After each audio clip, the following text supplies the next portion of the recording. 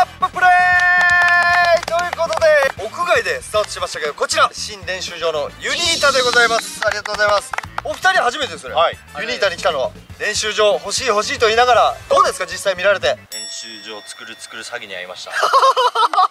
なるほど。作る作る詐欺にあったと言ってますよ徳重さん。伊作はどうでしょう？自分たちが自由に使える場所があるっていうのはプロチームとしては一番の財産というか大事な部分じゃないかなと思います。ねはいということでそんなユニータから今日はピックアッププレイということでまだ残り1試合あるんですけれども3人が揃ってリモートじゃなくこうやってお話ができるっていうタイミングがあったのでちょっと早いですけど今シーズンのピックアッププレイ MVP を発表していきたいと思います。今回の MVP の発表方法なんですけれどもそれぞれ各ポジションお一人ずつ名前を出していただいてその選手が MVP です。で最後に総合 MVP っていうのを決めます。それはお一人になります。なので、えーゴールキーパーディフェンスミッドフィルダーフォワードの順で。で最後総合 MVP 総合 MVP の方にはトロフィーでもお渡しできればなとも思ってるんですけどまあ今ちょっと検討中ということで。タノティでいいんじゃない僕の中古のここら辺に広いや着続けたタノティと今年一年使い続けたあの匂いするマスク。やめろってお前。匂いするとか具体的なとこまで言わなくていいじゃん別に。言ってたじゃないですか。それはもうカメラ外のところで言ってた話だから表に出さないでほしかった俺は。そうあるんですよ。昔現役時代ねあの僕が喋るたびに勝が口草口草って言うんですけど練習着が一番臭い。だからリアルなとこ出してくんだって。練習着はほんまに臭かったです。知ってる俺家に帰ってから奥さんに「今日もカツに臭いって言われた」って言って練習着渡したら奥さんが「分かった」って言ってハイターにつけてくれてそれ着てまた練習着でしょ。そしたらまた次の日「さささ」って言うから奥さんに何回俺が報告したか。無限じゃねえの？お前が言うから。よということでまあ話は脱線しましたけど MVP を決めていきたいと思います、それではまずゴールキーパー部門ということでじゃあお一人ずつ発表していきましょうか、はいじゃあ僕から。はい。僕は白坂選手と言いたいところですけどやっぱり大西翔吾選手です。同じって方います？あこれも大西です。あ一緒。白坂君とこうですね。白坂君のコースはいやこうです。ねこうやけどギリ大西キムチで大こ西キムチで大西はプレー関係なくなっとるよ大西キムチはい。絶賛販売中ですので。ということでゴールキーパーはあの僅差で大西選手じゃあなぜ大西選手かまあやっぱり今年出続けたじゃないですか大ちゃんが、はいはい。何度も何度もビッグセーブがあってこの試合大西に助けられたなってピックアップでも言ってる試合がかなり多かったんじゃないかなと。今年1年通してキーパー部門ではやっぱ大西の存在がもうめちゃくちゃ大きかったんちゃうかなって思います。ということでゴールキーパー部門は大西翔吾選手おめでとうございます。続きましてダー部門。これねサイドバックとかいろいろ分けたいんですけどだから3人 MVP が多ければ生まれるということで。決まりました？決まりました。はい。僕も決まりました。はい、決まりました。じゃあかっちゃんからいきます。はい。行きましょうか。えーと僕は。ウェズレイあウェズレイ・ロドリゲス選手。まあその理由としては？そうですね。やっぱ対人の部分で、まあ、無類の強さというか、まあ、僕はああいうそうなんていうんですかね。人に強いセンターバックが結構好き。でまあなかなかねやっぱ日本語も多分彼とこの前初めて喋ったんですけど試合に行った時日本語もねすごい上手ででやっぱコミュニケーションっていう部分でやっぱ相当苦労してたと思うんですけどまあそれもね感じさせないあのプレーっていうのはやっぱりさすがだなっていうふうに思いました。じゃあ伊沢君は？僕は田辺ロドリゲス田辺ロドリゲス田辺ロドリゲス合体さすな田辺圭介な。田辺ロドリゲスなんか違和感若干ないけどね。ハーフっぽいけど。です。です。です。です。鹿児島弁なそれ。理由としては？前半戦ちょっとセンターバックに怪我人も多かったじゃないで。すか、はいはいはい。でまあ、その中で田辺選手がセンターバックで起用されててもうやっぱり起点になってたじゃないですか。攻撃の。前半戦もう素晴らしいパスサッカーの中で田辺選手から始まる攻撃が多かったですしで対人の部分もピックアップでも上げてましたけどやっぱりしっかりいける取り切れる部分とで跳ね返すとこはしっかり跳ね返す。けどそれもしっかりつなぐ。っていうのを考えるとやっぱりその今年1位見た時にうん田辺選手の存在って大きかったんじゃないかなってディフェンス部門でもですねって思います。はいじゃあ僕いきます。僕はですねねヘンリー選手ですね。ヘンリー・オサム・ヘンリー選手。ヘンリー・オサムヘンリー・ヘンリーね、うん。一個上だね。ヘンリー・ジュニア。ヘンリージュニアじゃない。お父さんいないかなお父さんいるわ。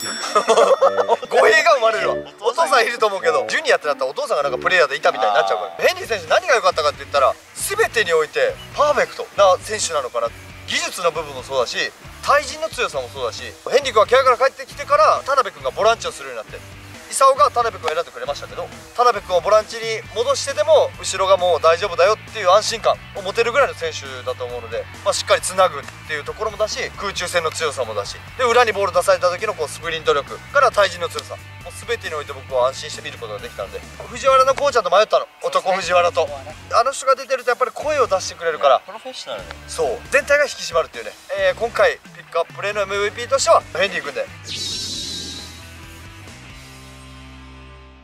はいということで、えー続きましてミッドフィルダーいきたいと思うんですけれども、はい。ミッドフィルダーは主にボランチの選手とトップ下ピックアッププレーの MVP ですかね。僕はもう決まりました。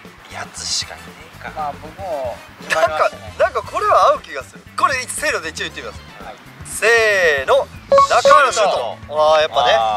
まあそうなるよね。田辺君も思ったけどセンターバックで出してくれたからそうね。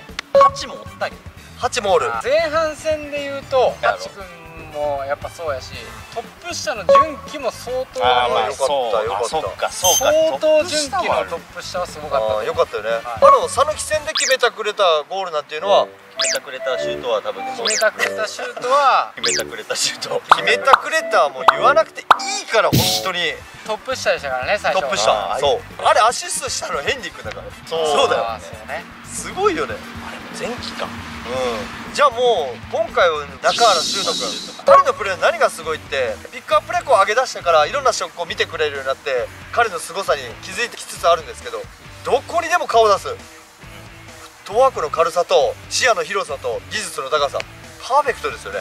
だからもう彼のプレーを子供たちに見てほしい。これからサッカー選手を目指したいとか思ってる。この首を振る回数とかポジショニング。サッカー IQ が高いですよね。技術がある上で全部その判断も早いし今年一番出てきたんじゃないですか？ピックアップレーの回数的にはおそらくダントツで1位で出てる。すごいよ。やっぱ監督変わってからもずっと出続けてたからそれやっぱすごいなってやっぱ思いますよね。これさ嬉しいのかな？選手を発表されて我々。嬉しいしやっぱ悔しいんじゃない？選ばれなかったなのかなサいやわからんポーターも共感してくれるでしょ。あーなるほどねまあ私は誰だとかいうコメントいただいてもね面白いけどね、理由とね。うん、そう理由と。あくまでね俺らの意見だから。しかもピックアッププレーの MVP だから。ハイライトに映らない部分だから。ということでフォワード部門。フォワード部門ですよ。これは結構悩みどころじゃないかなと思いますけどフォワード部門はちなみにサイドの選手も入るんで。ウィングのね。うんウィングの選手と真ん中の選手。この3枚の中から誰か選ばれるかっていうね。MVP なんでもう一番こう自分がインパクトに残った選手。しかもピックアッププレーでで決まりました。はい。これもなんか合うんじゃないかなって気がしますけど。じゃあ言ってみましょう。せーの。米澤レイ選手。ということで3人満場一致。米澤レイ選手ということで。そうなるよね。レイって何が良かった？今年。自分のその形っていうかスピードではもう圧倒的に速いしやっぱ相手もねなかなかそこには対応できなかったからそれをうまく活かせる動き出しとかそういうボールが来る前の予備動作というか良かったんじゃないかなと思いますね。こいつ速い選手だってもうバレてるじゃないですか、うん。そんな中でも分かってても抜けていく。例のプレー見てたら分かるんですけどポジショニングとかスタートするタイミングボールを受ける位置去年と若干変えてるんですよ。だから自分なりに相手にバレてる中でもいろいろこう自分の中でももがきながらこうやったら点が取れるんじゃないかっていう。やっぱ大事なところで点取ってくれましたよね。そうだねそれがやっぱ一番印象残ってるっていうか細かいトラップであったり抜け出しであったり連携の部分でピックアップで出したじゃないですか。はいはいはい。フォワードとして。点しっかり取ったのもレイやしって考えると MVP はレイなんじゃないかなと。さあやってまいりました総合 MVP ということで一番の MVP 誰かっていうのを決めていきましょう。僕はもう決まってます。言うまでもないでしょもうこちらは。よりこのプレーを見てもらいたいっていうとこにフォーカスすると俺も一人しかおらんのかなと。ああなるほど。かっちゃん決まった。悩んでるね。あの人かな。声ちっちゃ。うん。こっちのスリスリの方が大きな音してたから。カップの MVP でしょ。この人かこの人しかおらんか。じゃあいきますか。これもじゃあせーのでいきましょうか。揃うか分からんけど。これもう完全ガチンコなんで本当に一番一番。もう一番だろうっていう人ね。いきます、はい。せーの。シャケさん。ですよね。もうこれは多分そうなるでしょう。僕から言わせてもらうとこの鹿児島に来て3年間ピックアッププレーはこの1年ですけど表では起点となるポストプレー攻撃のスイッチとなるフリックとか多かったですけど時には相手が予想しないようなモーションからのキラーパススルーパスエンジェルパス本当に見てて楽しい選手だなと思ったしこの鮭さんがこう今やってる仲間にそのプレーを背中で見せることでチームの底上げというか。特に上がってたフリックの部分とか普通ではできない部分をあ上げたじゃないですか、はいはい。まあ、鮭さんもそういうイマジネーションがあるプレーをするからうわこれ難しいみたいな。ちょっとしたプレーを上げてたのは一番レベル高い鮭さんちゃうかな。なかなか普通ではできひんパスであったりトラップであったりフリックであってもおそっち出すかみたいな。っていう一番驚きと改めてあこの人やっぱすごかったんやなと思ったのは鮭さんかな。そうだね。俺も全く一緒。勝つは結構遡っていいですか？どうぞどうぞ。鮭さんと出会ったのがまあ3年前一緒にプレーしてて、最初のもう練習の時にどんな選手なんだろうっていうなんかこうあって。とにかくうまいと。まあ僕も8年間鹿児島で来て技術が高い選手が結構見てきて衝撃を受けたのは本当鮭さんぐらいでしかも試合でもやるっていうあのメンタルの強さというか試合のための練習じゃなくてあの人はもう練習でやってることを試合でできるあの凄さがやっぱりあれは見習おうとしてもなかなか見習えなかったかなって思うし本当すごくすごい選手だなって本当に思いますね。仲間ながらこう試合に一緒に出てる時も見入っちゃうような。そう。だから俺はもう近くで一緒にプレーさせてもらったから、うんうん。試合中に「うま」って言ってたもん。我々も生で見ることは正直できないのでこの間のホーム最終戦が見納めという形になったんでホーム最終戦引退試合にはなるけどもう勝ちにこだわってさ切れてたじゃん。いろんな思いがそれあるじゃないですか、うん。今年の結果含め鮭さんのチームに対する思いそれで後輩たちに一個一個のプレーに対してそれでいいんかそれでいいんかって伝えてるような感じがしましたね外から見て。本当そうだだからよりあの最後の2-0で負けてしまってラスト5分10分になった時でもあんなキックのプレーに対して怒るじゃないですか。お前それでいいんかっていうような要求をしてたのは後輩に最後そういう姿を見せてくれたんじゃないかなとすごい思いましたこれじゃあかんやろ。もっとできるんちゃうんかっていうようなように見えましたね素晴らしい。ありがとうございます。ということで総合 MVP 満場一致文句なし酒本紀之選手ということでおめでとうございます。次節富山戦12月、えー5日13時キックオフでアウェー富山であるのでまたね行かれるっていう方もいらっしゃると思いますけどなんか雪が降るみたいなんで。なのであの道中まず気をつけていただきたいのとやっぱりこう寒いと選手って怪我しがちにもなるんで怪我には気をつけて、まあまあまあアップで怪我する人もいるし。そう俺な。J2 の時の東京ヴェルディ戦のウォーミングアップで肉離れして試合開始ベンチでアイシングして座ってるって。お前どうしたみたいな。何しに来たあれは本当にすいませんでした一番やばいです。やばいでしょ。本当にあれは申し訳なかったしあれから俺メンバー4試合ぐらい外されました。そりゃそうだろうなと思いながら。だから選手の皆さん怪我には気をつけてください、あれが僕の正直現役のターニングポイントかなって。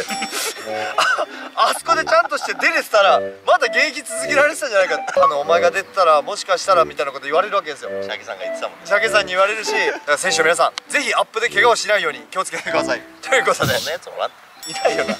あくまでもアップやから、本当すいませんでした、ということで、えー今回のピックアッププレイは久々に3人でこうやってリモートじゃなく揃ってすることができました。ということでじゃあ一言ずつ短めで小さくからお願いします。まあ、今年1年ピックアッププレーをやってきてラスト1試合になってしまいましたがよりこうピックアッププレーが始まって YouTube をやりだしてからより鹿児島のサッカー見るようになりましたし鹿児島の選手の凄さをより知ってほしいというような立場になって本当いろんな人たちからスタジアム行った時にピックアッププレー見てます YouTube 見てます、ね。本当ありがとうございますっていう声をめちゃくちゃいただいてそれをやっぱ生で聞くとあやってきてよかったんやなほんまよかったんやなと。で選手からもやっぱ連絡もらったりするわけですよ、あれ見てるでっていうようなっていうのを終わってみるとラスト1試合になりましたけど続けてきてよかったなと思います。ありがとう1試合よろしくお願いします。ありがとうございます。ガッチャン9ヶ月ぶりぐらいに行って PICK UP PLAY のプレーを選ぶ時がまあ、 DAZN だったり。で見てるんですけど会場で実際に見る雰囲気昨日も5000人近くのお客さんが入ってる中で選手たちが本当羨ましかったしこんだけ応援してくださる皆さんがいるんだなっていういうのをすごいやっぱまじまじと感じますしそれに携われてるこうやって YouTube を通して僕は本当に幸せ者だありがとうございます。はいということで、えー皆さん聞き慣れてきたかもしれないけどチャンネル登録のご協力今もしていただいてますけどまたよろしくお願いします。今現在こちらに出てる通りのチャンネル登録者数になっておりますんで、えーぜひ皆さんまたご協力の方お願いします。ということで今日のピックアッププレイは3人揃って新電種場ユニータから届けさせていただきました。それではまた。回の動画で会いましょうありがとうございました。皆さんありがとうございました。それ奄美の方言だ